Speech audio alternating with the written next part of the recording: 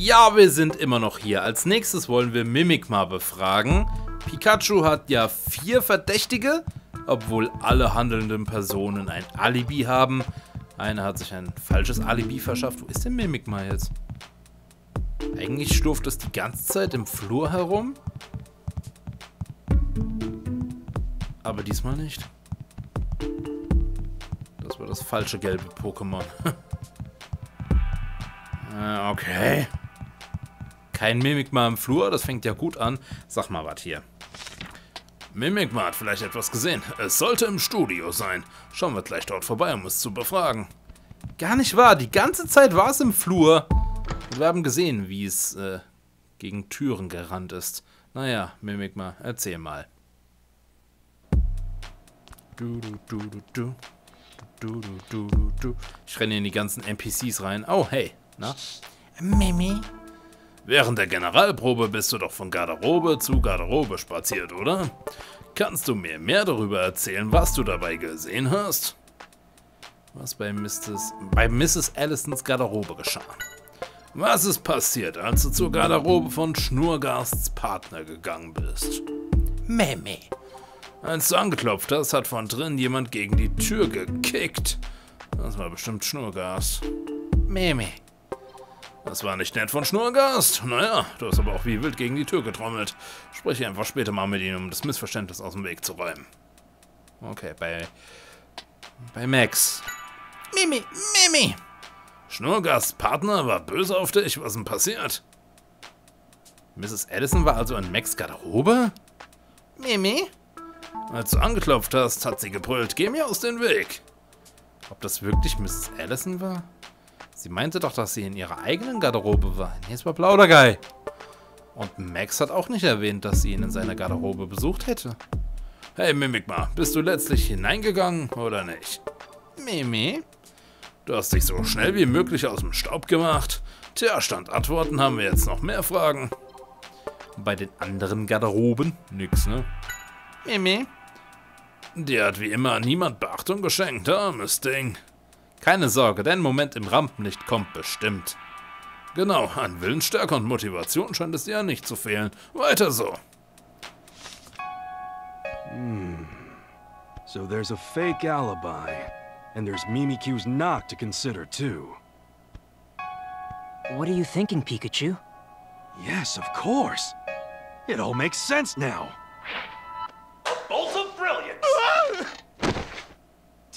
The culprit is... Uh, uh, uh, ah!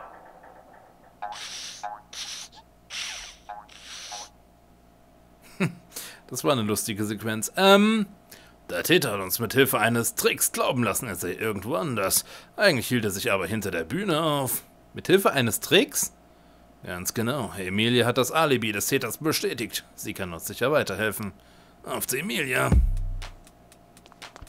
Emilia? Emilia, dürfte ich dich bitten, mir etwas zu demonstrieren? Hm, Klar, was denn? Du hast erwähnt, dass du an Mrs. Allisons und Max Garderobentür geklopft hast. Wärst du so gut, uns das einmal vorzuführen? Äh, okay, aber wozu?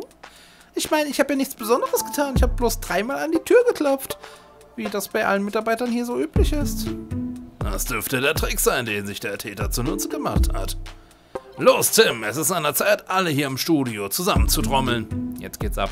Nee, ähm, wir haben gelernt, dass Plaudergeil auf verschiedene Signale anders reagiert. Jetzt sagt sie, es ist üblich, immer dreimal zu klopfen.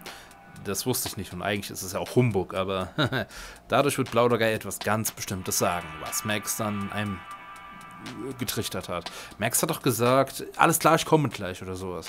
Und das wird Plaudergeil dann sagen. Also, let's go. Verstanden. Viel Spaß.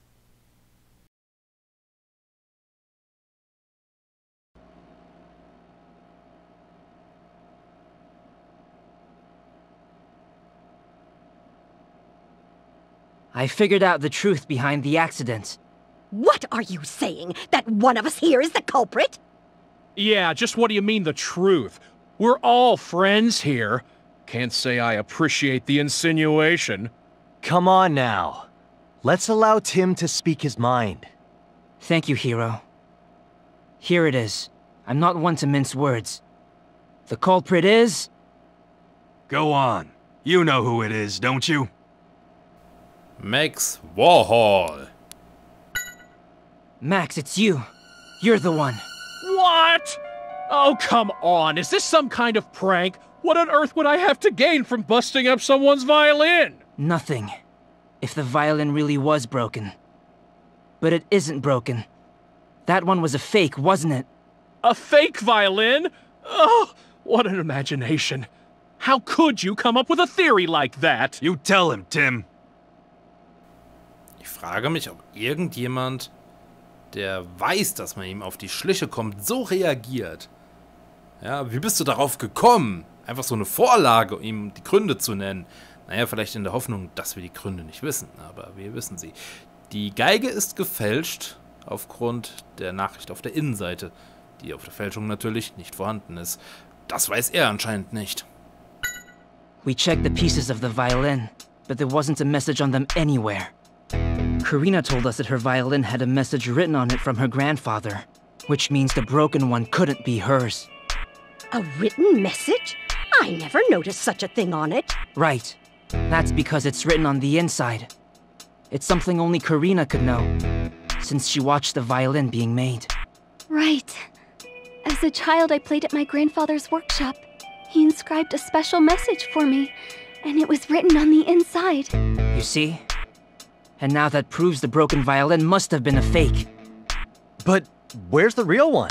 I think Max probably knows. But no, I haven't done anything. Listen, the whole time the violin was backstage, I was in my dressing room. How could I be in two places at once? Oh boy, this is where you take down his alibi. Ich bin gespannt, ob wir zu sehen bekommen, was passiert, wenn Emilia dreimal klopft. Was Blaudergein dann sagt. Mrs. Allison war in der Garderobe. Janma war im Studio, Mimik mal war im Gang. Ja, Blaudergeil war in der Garderobe. So sieht's aus. Actually, my guess is it was Chatot in the dressing room. You probably used a trick like this. Gotcha! I'll be right out! Oh, yes, that's exactly what I heard. Admit it! Admit it! Chatot, be quiet!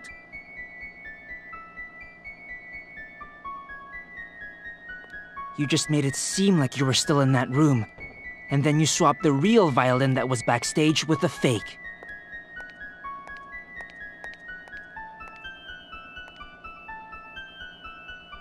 Oh, You have to admit it! You have to admit it!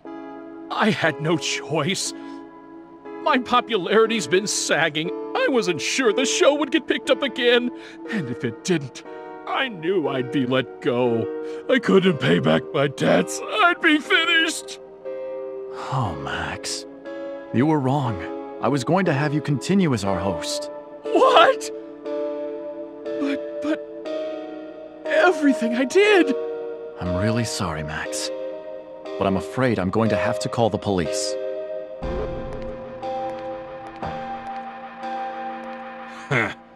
What a fool he was. In the end, he was the one who didn't believe in his own talent. Hey, you guys! I found the videos. What's wrong? Why is everyone hanging out here?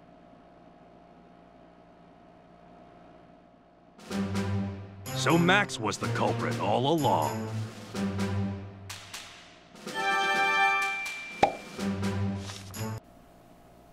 Damit wäre der Fall gelöst. Jetzt können wir uns endlich wieder unserem eigentlichen Problem zuwenden. Ja, das war wirklich äh, Filler, kann man sagen. Ja, ist also, haben wir nicht direkt was mit zu tun, aber wir haben es gelöst. Okay. Ja. Überprüfe die Videoaufnahme. Mensch, fast vergessen. Ist ja nicht schon eine Woche her bei täglichen Parts. Ja. Mako's finally back with the video. Let's go to the sub-control room and watch it. Maybe he'll show us some clues. Na, da bin ich ja mal gespannt, ne? Volle Möhre.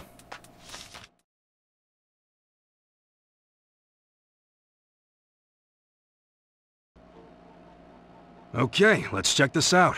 Let's play the whole thing through. Charizard's in Remember. We've got keep your eyes on. Charizard. Yeah.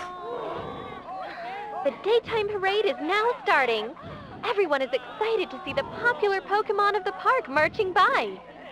Who better to lead than Charizard? We've been told the theme of this year's parade is look at that dreams. balloon. Hmm? Oh.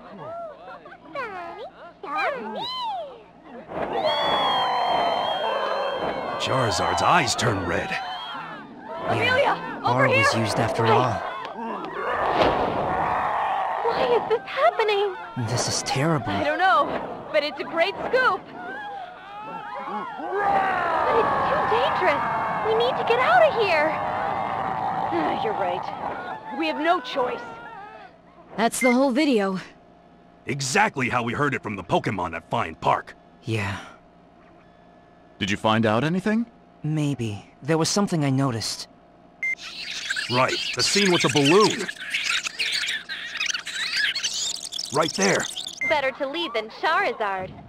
We've been told the theme of this year's The balloon parade. popped. Maybe it had R inside. Tim, zoom in on the balloon, and then play it backwards in slow motion. Okay. It looks like a needle or something flew at the balloon. You're right. But where did it come from? Rewind it a little more. Ja, nicht gern bra, but when I'm going really fast, but it's did it, it's in over. Get our plan, did it ever miss it? Stop there! Hey, that's Skorupi. And that man. Right. The Pokemon at Fine Park told us a man with a Skorupi was after Harry. You know, that looks almost like it could be Keith. What? Keith was there? Working with you? No, not with us. I don't think he was even working at GNN back then. Mako's right. He only joined us about six months ago. So it was Keith who caused the incident? He's the one who went after my dad? Looks like it. And he was hiding in plain sight. Let's go capture Keith. Oh, oh, oh. Das äh, ist interesting. Wer hätte gedacht, dass ausgerechnet Keith der Täter ist? Das ist nur ein großartiger Verdacht, aber noch nicht beschlossen. Er hat uns alle an der Nase herumgeführt. Vielleicht wusste er auch, was Max vorhatte und wollte dich auf diesen Weg loswerden. Mich? Erinner dich zurück an den Unfall. Warum sollte ich bei den Aufnahmen einspringen? Keith hatte sich mit dem Datum vertan, wodurch es kein Assistenz-Pokémon gab. Ach, jetzt verstehe ich. Das war nicht das einzige Mal, dass Keith sich verdächtig verhalten hat. Weißt du, was ich meine? Was war an Keiths Verhalten verdächtig? Er hat Magnetilo freigelassen? Äh, hat er das? Nee, oder? Er hat Tim gesagt, wo er stehen soll. Hat er das? er hat Karina rausbegleitet. Er war für das Kamerateam zuständig. War das? Jetzt weiß ich gar nicht, was, was, was war denn verdächtig? Ich glaube das. Das ist ein gutes Gedächtnis. Keith hatte dir doch ganz genau gesagt, wo du stehen solltest, wenn ich die Geige bringe. Er dürfte also gewusst haben, wo die Kamera herabstürzen würde. Stecken Keith und Max etwa unter einer Decke? Weißt du, so Sachen, wo tausend Zufälle einfach perfekt passen müssen, die eigentlich nicht passen können oder sehr unwahrscheinlich sind. Naja, wie auch immer. In Videospielen und so passt das immer. Es ist nicht auszuschließen. Äh, Warum sollte Keith so etwas tun? Aber darüber nachzudenken hilft uns jetzt auch nicht weiter. Wir sollten uns darauf konzentrieren, Keith zu schnappen. Komm, Pikachu! Alles klar. Jetzt müssen wir nochmal separat rüberlaufen. Ist das... Die Musik? Warum rennt der? Weiß der schon Bescheid? Das kann doch gar nicht sein. Da ist Keith! Lass ihn nicht entwischen, Tim. Ihm nach!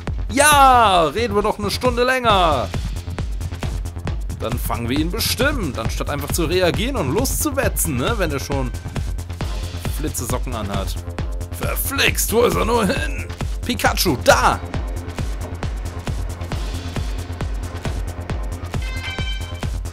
Das Dachgeschoss. Gehen wir. Warum geht der aufs Dachgeschoss? Stop, Keith! You can't get away! We'll just have to see about that now, won't we? Skorupi, keep them busy. Ska, ska! Pion Skora, Scharfschütze der Spitzenklasse. Tim, watch out for its poison sting! Fange Keith. Ich gebe mir Mühe. Ach Mann, ich dachte, ich muss Button smashen.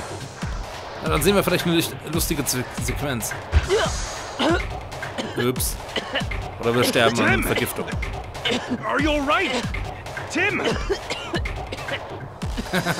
Reset. Man kann ja nichts falsch machen. Matrix! You missed. Aber warum weiß der jetzt Bescheid? Help is on its way. Du Hafnir, Urheber unglaublicher Ultraschallwellen. Perfect timing, Neuburn. Now, could you blast them away?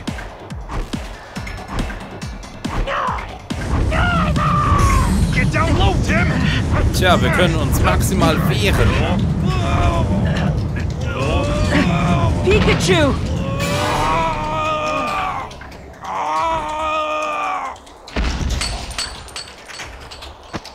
Nein, das Amulett! Oh, what was that? Tim,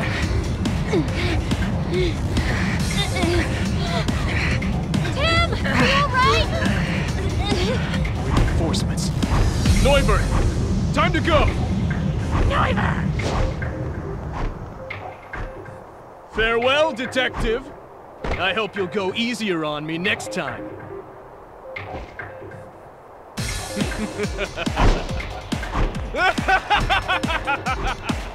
Blast! Ugh, got away. All that work for nothing. Nope. It wasn't for nothing, Tim. Look at this. Huh? The locket? That's right. Not just any old locket. It has a little secret. What do you mean? Well, unless I'm mistaken, this locket should contain a clue left by Harry. He got away this time. Too bad. You never know. There could be a clue hidden in this locket. Kam denn das Medaillon her genau? Hinweis von Harry? Ach, erzähl mir mehr. Hm, nächstes Kapitel? Ja, wenn das so ist, dann werfen wir noch einen Blick rein, ja? Kapitel 7 Rhyme Harbor Harbor, Harbor.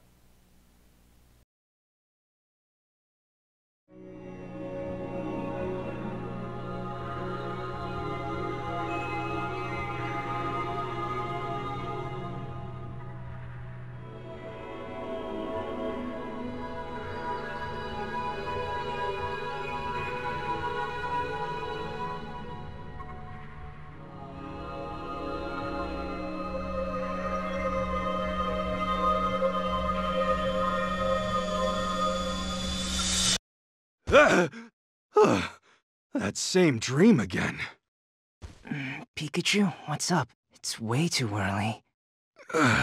Tell me about it. I'm so sorry to wake you, but I think I'm forgetting something. A promise. Mhm. Mewtwo hat auch schon von dem Versprochen, von dem Versprechen geredet. Hey, Tim!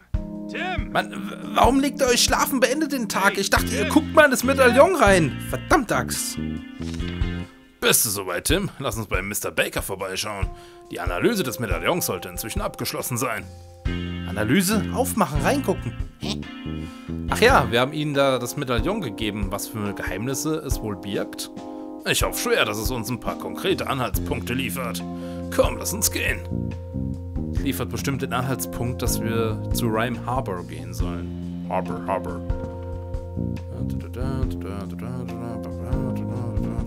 Hier haben wir eh nichts weiter, ne? Wir können weder mit Leuten reden noch ne, was anderes. Eins muss ich dir lassen, Tim. Du hältst hier alles sehr sauber. Ich bin immer wieder überrascht, wie ordentlich du bist. So ordentlich bin ich eigentlich gar nicht. Du bist einfach nur zu unordentlich, Pikachu. Ja, mein Gott. Kann man sich nicht groß beschweren hier in der Hütte. Dann, ja. Nun dann, bist du bereit, um bei Mr. Baker vorbeizuschauen? Yeah! Wir machten uns auf zum Detektivbüro Baker, um dort nach dem Medaillon zu fragen. Who would have thought the locket was a camera? But here they are, the pictures we developed from it. And you know what this tells me? Harry almost had it figured out. Look at that. Yep, that's most likely R. And some warehouses, too. It's too bad we can't tell where this is. You know, I've seen this building before. This is Rhyme Wharf. We'll go check it out. The culprits could still be there. Maybe using it as a hideout. hmm. Oh, brother. I hope he doesn't start with that whole it's too dangerous spiel. All right, take Excelgor with you. Huh? You remember, it's my partner.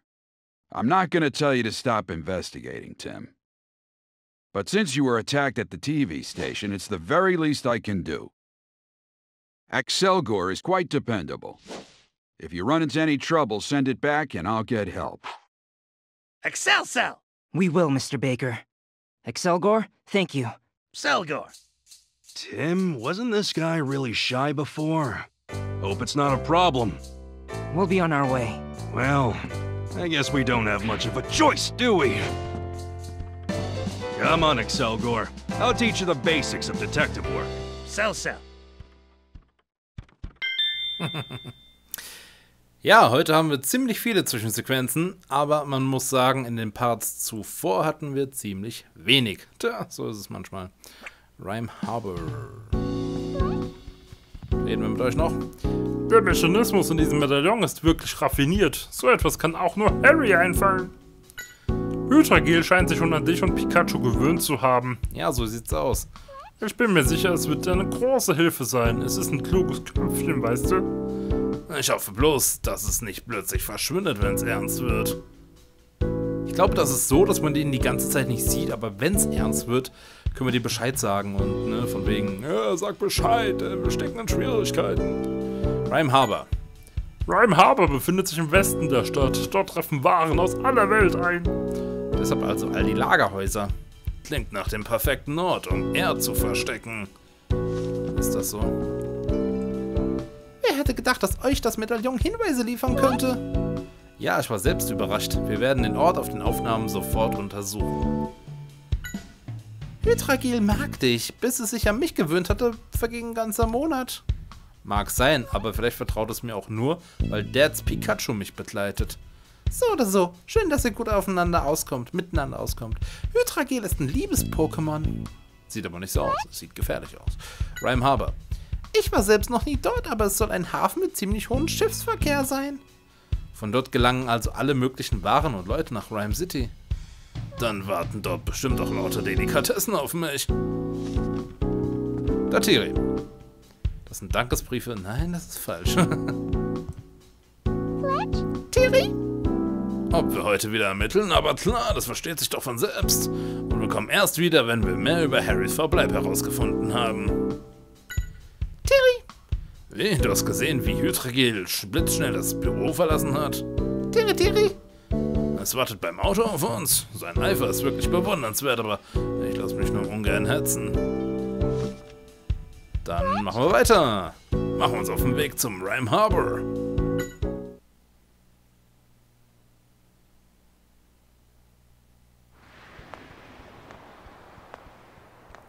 Rhyme Harbor. it's a lot bigger than I thought it was. No kidding. Let's look for that area in the photo.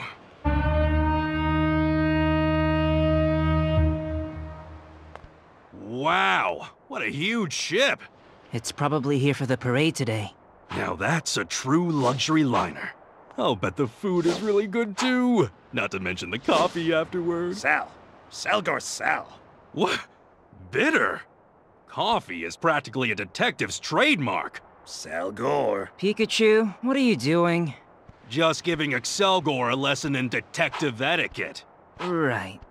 Anyway, we should probably start gathering testimony. Sel Selgor. Selgor Sel. Uh, huh? Huh, where's Excelgor going? It said it's not good at communicating. I guess it really is shy. Well, that's no good. It's supposed to be here helping us out.